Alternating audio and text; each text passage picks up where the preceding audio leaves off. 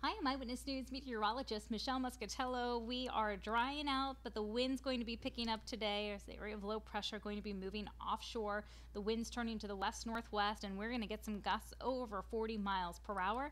Wind advisory starting now and going to last into the night, set to expire at 1 a.m. on Friday.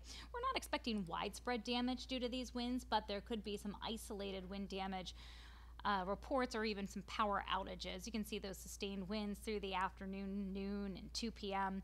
Uh, sustained between 20 and 25 miles per hour with those higher gusts. Noontime temperatures, not bad for a January day, mid to upper 40s, but it's going to feel cooler with the winds, and that cold air will start to get transported in on those gusty winds. So you can see at 5 o'clock in the evening, back to the upper 30s, a couple of flurries or sprinkles coming through.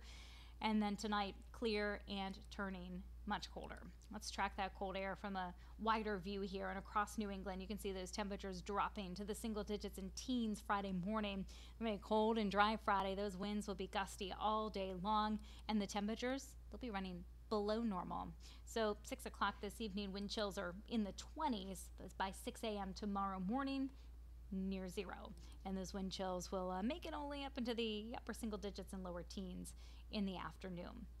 All right, so cold again Saturday morning and dry initially. I have the snow moving in between 3 and 6 p.m. Warmer air is going to eventually win out, so after a few hours of wintry weather, a changeover from sleet to rain expected, first at the coastline and then further inland. That'll hold down the accumulations for us here in southern New England. Northern New England, I get about 6 to 12 inches of snow from that storm, much less around here.